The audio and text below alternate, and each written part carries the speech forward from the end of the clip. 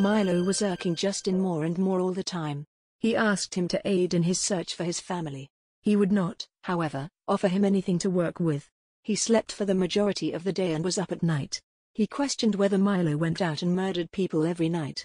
If he had, it would have undoubtedly been reported on in the media or the press, or someone would have brought it up. Additionally concerned about Milo's propensity to be ill, he would have experienced that as well. For the upcoming year, he declared he would primarily behave like a person. What did that mean, though? Would he eventually resemble Milo more? Or perhaps there was something else wrong with Milo. He passed Amy's dorms as he walked down the street. He would never allow himself to think such things. He pondered how this might affect their relationship. He would eventually tell her, but how would she react? Would she wish to depart from him? He anticipated her wrath for keeping this a secret. He struck the button on her room carelessly. No response. It was too early for her to be at work, and she had no class. He buzzed it once more.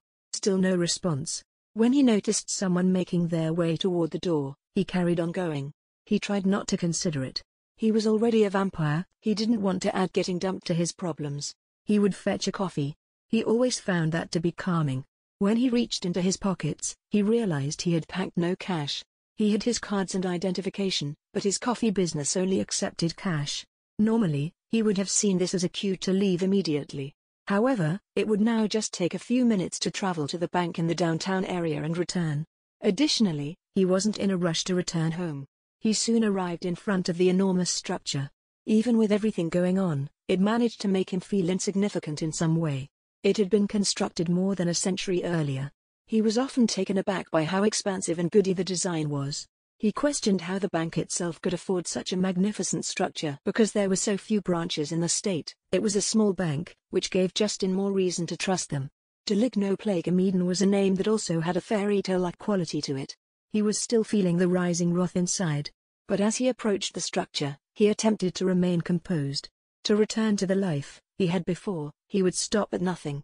He could see every flaw at the time. But in contrast to now, it felt ideal. It would all be back to normal if he could only get Milo out of his life. As soon as Milo was out of the picture, he could regain control of his life. Before he knew it, he was inside filling out a withdrawal slip. The black and white marble on the counter matched that of the pillars that lined the place. He only got as far as jotting his address down when another man approached the counter where he stood. Justin tried to move over to make room for him. But he just seemed to get closer. His hair was long and unkempt. Each time Justin tried to move over a little, the man seemed to move in closer. He had a smell that Justin wasn't familiar with. He initially believed it might be BO, but it wasn't all that horrible. The long, thin, messy fingernails of the man tapped on the marble. Justin remained silent while continuing to maintain his composure. He discovered it was nearly impossible to focus on this guy standing so close while doing something as simple as filling out the form. Can I help you? Justin snapped, almost shouting, and much louder than he had planned. He received a few sideways looks as his cheeks heated up. There was a glassy expression in the man's eyes as he started plucking at his fingernails. He appeared to have no idea what he was doing. The wet blood mixed with the dry till the one nail had totally popped off, landing close to Justin's hand. The man touched his hair while appearing unconscious of what he was doing. It's not generally this dark. Brown, blonde, a few times even blue. It isn't typically black. He extended his hand with a clump of hair. Do you believe it fits me? He was back to fiddling with his fingers before Justin could respond.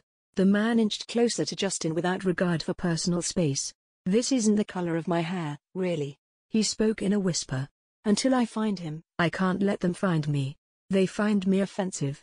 He searched the room from behind Justin. Justin questioned, who? Not caring about the response but fearing that if he didn't speak to the man, he could be in danger. The man glanced over at Justin before ducking down as if he were hiding from someone. They are able to see me but not see me. No one has any idea, and I won't reveal it to them. Justin sensed dread and foreboding as the stranger continued to speak. He was there, but he didn't want to be. He had lost interest in coffee. All he wanted was to go home. More than everything, he wanted to turn his head away from the man, but he discovered it was incredibly difficult to do.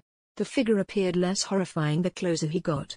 Like a performer who is decked out on the outside, they appeared terrible. However, you can still tell they were really attractive through the tiny amount of makeup.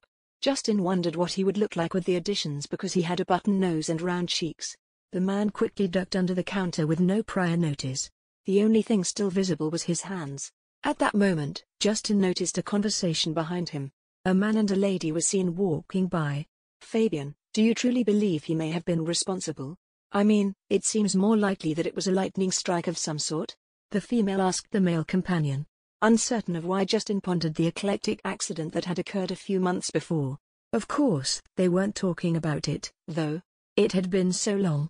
No, it wasn't him, of course.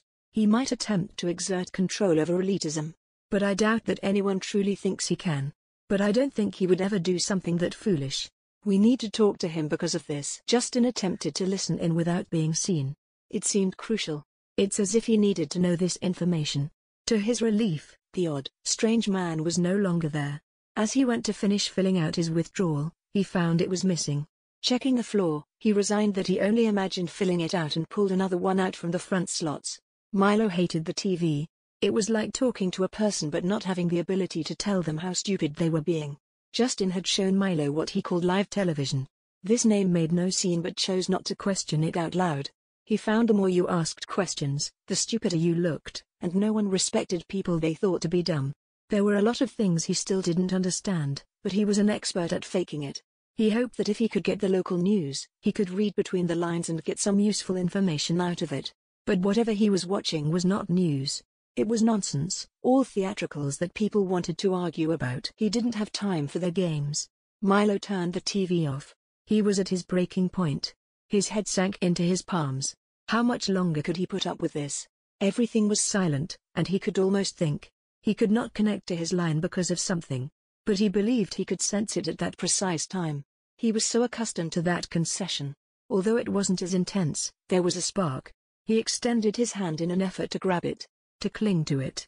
All was not lost if he could pull that off. It seemed to pull time like a string. It was inches away from his fingertips and just ahead. Then, with a smash, the entranceway opened. Milo fell back into the present by himself. Justin flung a newspaper at him before he could say anything. Justin walked over to the kitchen as he spoke.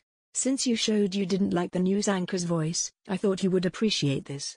It would have been preferable to the metal box, Milo thought as he examined the paper. At least he could understand this. I require a quill. Milo questioned as he turned the pages. I have a pen, Justin said as he handed him the small plastic tool. It's like magic. It has an endless supply of ink in it. It isn't magic, Milo snorted. It was immediately apparent how the device operated. It appeared as though Justin was merrily cracking a joke. But in Milo's condition, it seemed like a slight. His stomach felt queasy at that same moment. He was thirsty and wanted the tea that he regularly made for Grendel and himself. A quick and simple method of getting through meals. It was the simplest technique to keep a regular heartbeat because it was made of diluted blood. He just made it to the sink after leaping up from the sofa before blood started pouring out of his mouth. Justin remained still.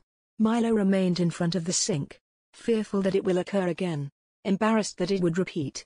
For days, he hadn't eaten. He wouldn't be able to maintain any blood in his system if this continued. His heartbeat was currently so irregular that he might have passed for a Netapuri. The cold-blooded vampires with no heartbeat. What would that be like for him?